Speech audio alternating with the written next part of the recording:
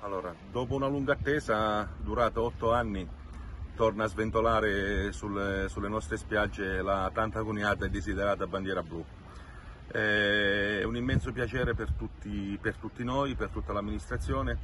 per il lavoro che è stato fatto, che è stato portato avanti dall'ufficio ambiente dall'ufficio demanio, che si sono veramente prodigati tanto per ottenere questo risultato.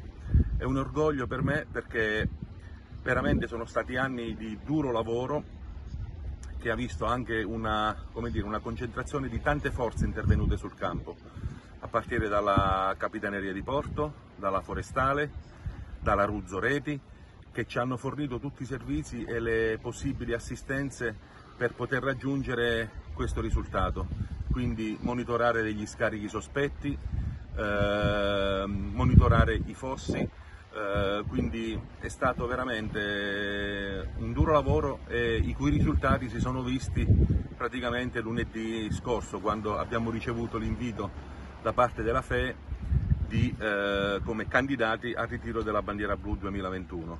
Quindi in un anno, in due anni anzi che soffriamo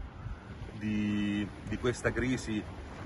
che ha colpito molto il settore turismo per via della pandemia, mi auguro che questo vessillo possa dare veramente il,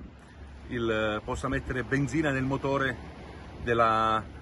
del turismo perché ne ha veramente bisogno, quindi ripartire, ripartire in fretta e soprattutto consci del fatto che abbiamo una, un, un mare ed una spiaggia che possono fornire servizi di alto livello. Quindi eh, ci auspichiamo che la imminente stagione estiva